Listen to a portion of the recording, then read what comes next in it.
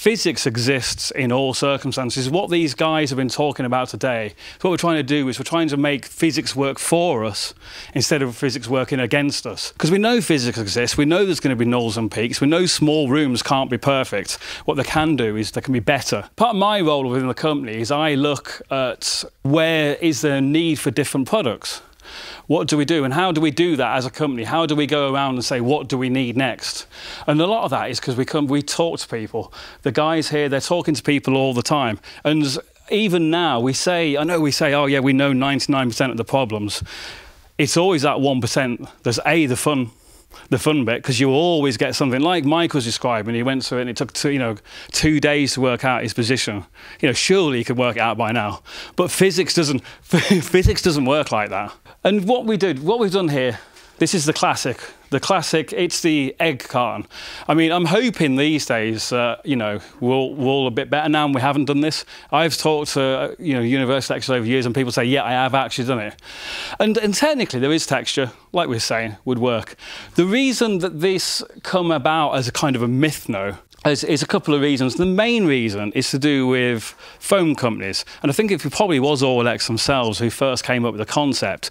And the reason is, is somebody in the you know R&D development was trying to do, how do we make you know that real estate that we've been talking about? How do we get more out of it?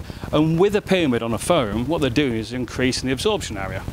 It's really they're not using any more space on the wall, and that's you know how research and development works. I would never recommend the egg cartons for the pure fact is they've got a purpose and they're for eggs.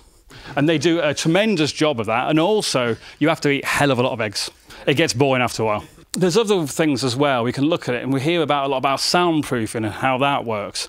And I've seen products, and there used to be a, a really well-known video. And it, what it was, it was a it was a drummer in the desert, and they'd put him on a pallet so they detached him away from the world. And he's, he's drumming away, and this company comes along and they say, Our panel will stop sound.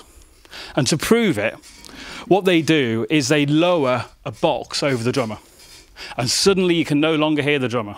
I mean, I've always maintained on this, and the theory is because you don't see him at the end of the video, clearly the reason you no longer hear the drummer is because he's dead. Because if you put an airtight box on top of anybody, I mean, you've got as, as long as the size of the box before you're going to die. And the concept is, is any of those materials that's airtight would stop sound, because we know how sound travels. It, sounds through the, it travels through the air and it travels through vibrations, but we also know in their video that they'd moved in from those vibrations. So therefore, but it doesn't mean the panel works, no. So at GIK, what we're doing all the time is we're always looking, and this is just a selection. In my office, we joke about it, and I'm, I'm on Zoom, and every time there's a Zoom meeting, there's another panel behind me, there's something else. I'm always like this, coming across, going, look at this, look at this. We've got hundreds of them, and all the time we're looking at new ideas and how we fit. And one of the things you're going to look at is creativity, because you can never lose the fact of what we're doing here. You know, it isn't all about, you know, whether we're going to, what, what, which button we're going to tweak, how we're going to do this sound. This is about creativity. One thing I never lose fact of, I'm still the most proud I can ever be. When I'm listening to things now in the chart, and it's still, they've used my panels. I maybe I designed them.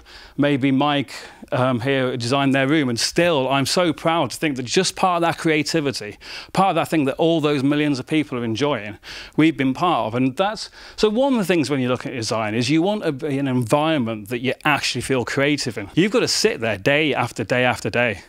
You know, you don't want it to be that sort of dead room. It's got to be something exciting. And these, again, this is just more of the sort of things that we're doing all the time to try and have a look at your needs and what it is that you can do for the future.